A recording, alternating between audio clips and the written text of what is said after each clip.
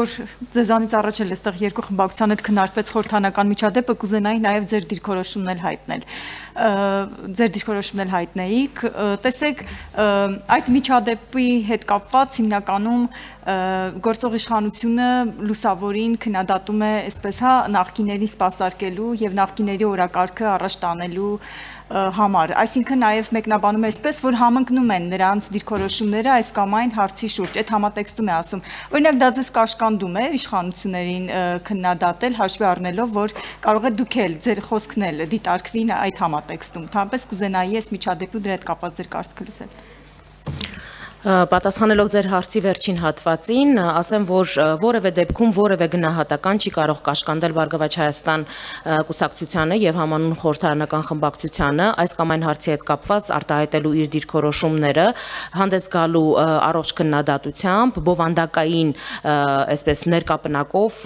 ելույթներ ունենալու հարցում որևէ դեպքում որևէ բան մեզ չի կարող կաշկանդել։ Ինչ վերաբերվում է խորհրդարանում տեղի ունեցած այս քարորիայի շրջանակներում տեղի ունեցած միջադեպին, Բարգավաճ Առաջ Հայաստան խմբակցությունը արդեն իսկ հանդես է եկել համապատասխան հայտարարությամբ, մասնավորապես նշելով, որ բնականաբար տեղի է ունեցել տհաճ եւ ցավալի միջադեպ, որը որևէ դեպքում չի տեղավորվում պարլամենտարիզմի քաղաքական երկխոսության, ժողովրդավարության արժեքների տրամաբանության մեջ։ Մենք մեր խորհրդարանական երկու գործընկեր խմբակցությունների ներկայացուցիչներին կոչ են կարել թողնել այս ամեն ինչը, վերադառնալ կառուցողական աշխատանքի դաշտ, որովհետև հատկապես այս պայմաններում, արտակարգ դրության պայմաններում պայմաններում, համավարակի այս պայմաններում իսկապես մեր երկրի արժև ծառացած են այնպիսի խնդիրներ, որոնք օր առաջ լուծվելու կարիք են զգում եւ հիմա փոխանակ այդ ուղությամբ քայլեր ձեռնարկելու տնտեսության կոտրված ողնաշարը շտկելու մասով քայլեր ձեռնարկելու փոխարեն խորհրդարանը զբաղված է արեստական օրակարգի այսպես օրեր շարունակ այդ օրակարգը քննարկելու ուղղությամբ աշխատանքներ տանելով, որը կարծում եմ, որ որևէ մեկին օգուտ չի տալու, թե Հայաստանի Հանրապետությանը, թե մեր ազգաբնակչությանը ընդհանրապես Այլ հարցեր անցնենք արցանց հարցերին Armdale AM կայքն է ուղարկել. Դուք այժմ միջադեպի հետ հայտարարություն արեցիք դատապարտեցիք բայց գնահատական չեղավ այնուամենայնիվ թե ով էր մեղավոր մանդատները վայ դնելու անհրաժեշտություն կա թե չկա որևէ մեկը այստեղ իրավապաշտպանի կամ իրավաբանի գործառույթ չի կարող իրականացնել, տեղի ունեցել շատ տհաճ եւ ցավալի միջադեպ։ Մենք մեր գնահատականը հնչեցրել ենք այս միջադեպի հետ կապված, իսկ մնացած հարցերով քննություն թող իրականացվի, մեղավորները պարզվեն եւ համարժեք գնահատական տրվի։ Ինչ վերաբերվում է երկու խմբակցությունների կողմից այսպես մանդատները վայր դնելու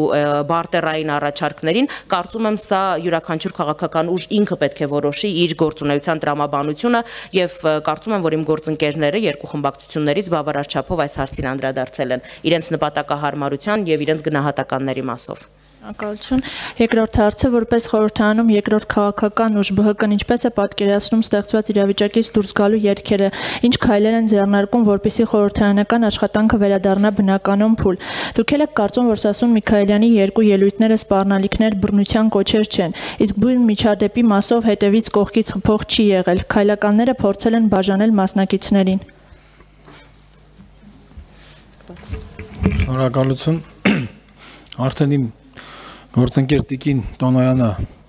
իրավացիորեն նշեց, որ բավականա ժողովրդի ուշադրությունը այս խնդիրներով զբաղեցնելը։ Հասկանում եք, շատ լուրջ խնդիրներ կան այսօր մեր երկրի առաջ, մենք ընկել ենք խորհրդարանական ծեծ ու ջարդի վերլուծությամբ ենք զբաղված։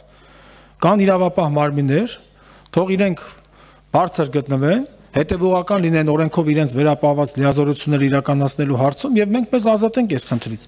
Այսինքն ի՞նչ է նշանակում դատապարտել եք, բայց գնահատական չեք տվել, բայց դատապարտում հենց գնահատականն ա եղել։ Մենք ասել ենք, որ այո, պետք է խորհրդարանում լինի քաղաքական մտնոլորտ։ Եվ բռունցքներ ցուցադրելու վայրը լրիվ ուրիշ տեղեր են։ Խորհրդարանը չի։ Հիմա սրանից ավել մենք ոչ չենք ընկնելու մեղավորներ մատնանշենք։ Մեղավորության ապացուցումը դա պետական իրավապահ մարմինների խնդիրն է։ Մենք իրավունք չունենք վերազանցել մեր լիազորությունները։ Ով ում հետևից խփեց, տակից խփեց, դեմից խփեց, սրանք խորհրդարանական քննարկման առարկա չեն։ Բազմաթիվ խնդիրներ կան։ Մենք ասում ենք եկեք այս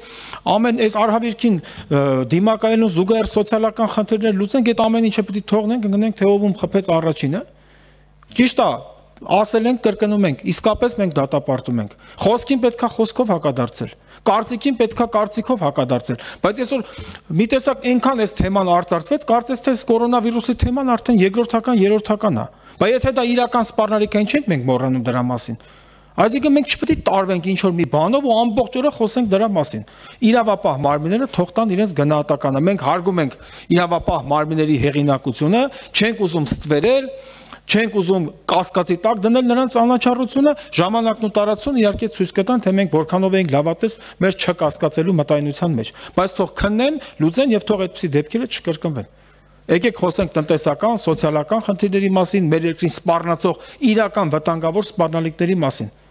Ճիշտ է, շատ վատ է եղել, այդ երևույթը շատ վատ էր հատկապես Շուշիի ազատագրման օրը, բայց դա չի մեր երկրի գլխավոր խնդիրը։ Ես լիովին կիսում եմ իմ գործընկերոջ հարցադրումները, իսկապես